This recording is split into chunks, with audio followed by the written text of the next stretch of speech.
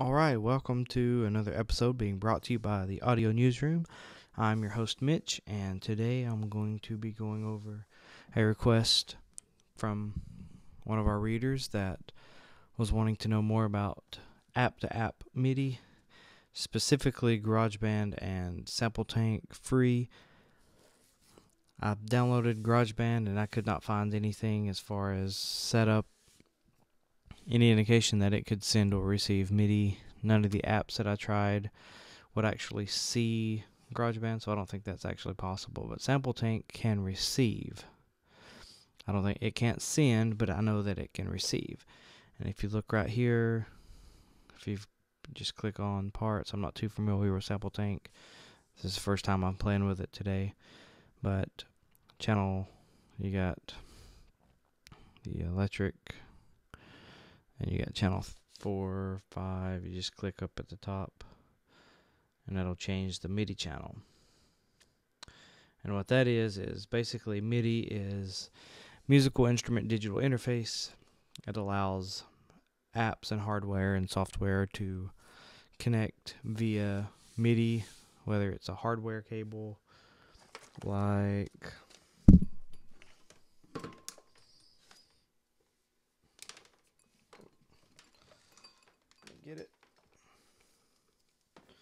Like the old 5 pin MIDI, or whether it's USB, whether it's virtual, or whether it's uh, USB or wireless.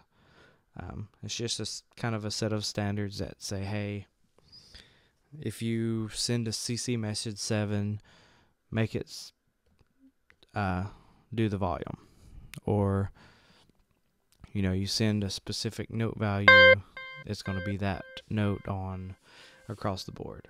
Now, there's a thing called SysEx messages, which is specific for a program or a piece of hardware to allow the hardware to be controlled in a more elegant fashion. But as far as apps go, not a lot of apps will really have the SysEx. And there's another one, program change or PC and not a lot of apps have that integrated as well. But that was uh, like allows you to select a certain like if you had um, some drum pads, you could set the drum pads to to do program change, and you could change your presets, um, which would help out, you know, just workflow and stuff like that. But back to app to app connectivity the biggest thing I can say is to you have 16 channels.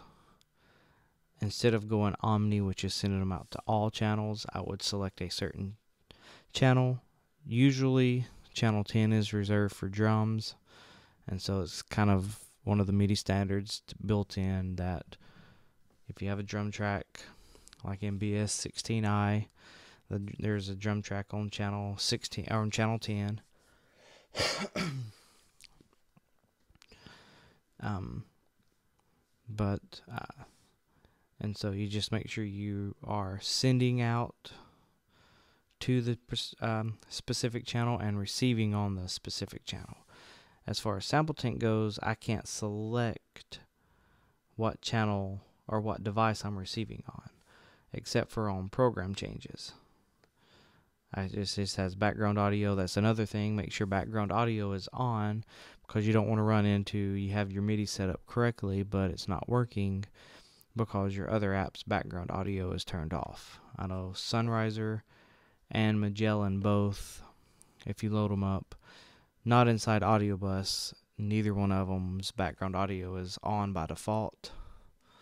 Um, you may be able to go under app settings, um, under the system settings, and change that but just always make sure background audio is on. Make sure you're sending to a specific channel. That just helps with bleed over. That way, if you're triggering, trying to trigger one app, and you have multiple apps open, it's not triggering all the apps. Um, but in the case of SampleTank, I can't select what in app I'm going to receive from. But if you take an app like not there music, drum jam.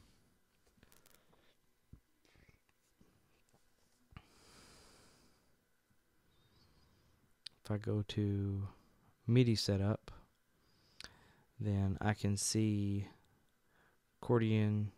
I can I don't see an input from Sample Tank, which to me indicates that Sample Tank cannot send MIDI; it can only receive MIDI. And so I could do, I could send the clock to Sample Tank, and I could send note output, which is supposed to be drums, but you can also hear in the background kind of the you can hear a sound from sample tank as well because I'm sending note. But if I take that off then I'm just getting drums from drum jam so makers of drum jam have done a really good job same thing with uh, thumb jam and uh, they've done a really good job with MIDI um, and so that's basically so I can do in channel, out channel. Just make sure they're set to the same channel that you're trying to send and receive to. So let me close out. Let's close out that. And let's go to I just bought Genome today or yesterday.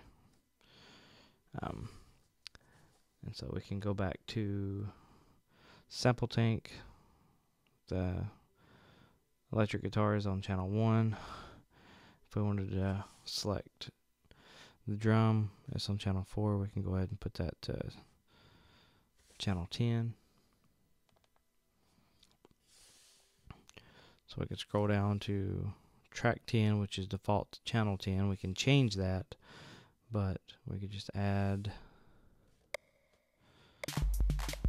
just a basic drum pattern and hit play.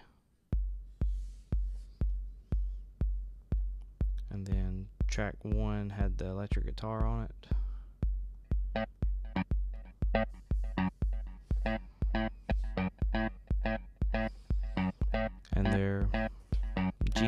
Controlling sample tank. And it's just as simple as if you go under settings, um, MIDI. Since genome is a MIDI sequencer, it's pretty much defaults to send out to everything, but I only I only check what I want to actually send to it. That way, I don't get arbitrary notes on other devi- on other apps that I have open.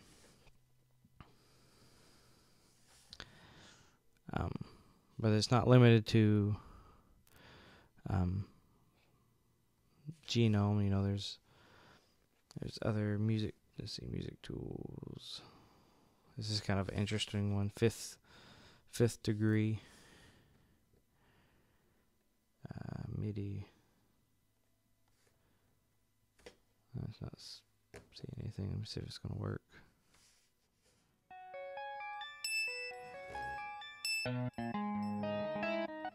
Sending it. Oh, there we go. Send it to channel 1 if we want to send it to channel 10.